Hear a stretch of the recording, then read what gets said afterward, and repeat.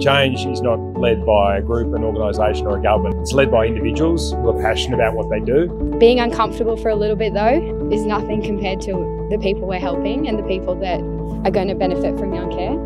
When we remove them from those distractions, I call them, and bring them out into this magnificent place in the middle of Australia, um, they're there in the moment with the people that are there with them and they become um, much more uh, engaged with the people around them.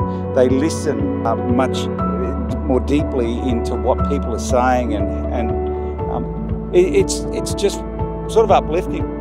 For some reason, this particular um, Simpson Desert, everyone's got very profound um, stories that linked directly to the mission.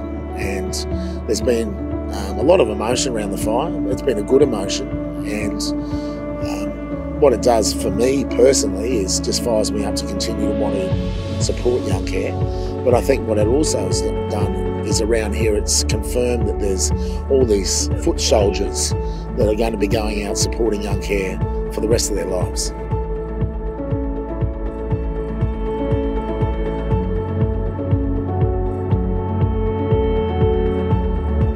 Every now and then you kick your toes and you come over the sand dune and then all you can see is a whole another plane of it. So you know you just have to keep going, one step at a time.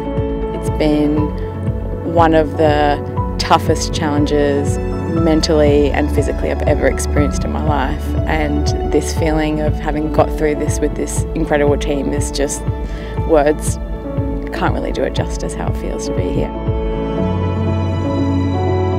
You spend a fair bit of time just walking along by yourself and you think about life a little bit and think about your wife and the kids.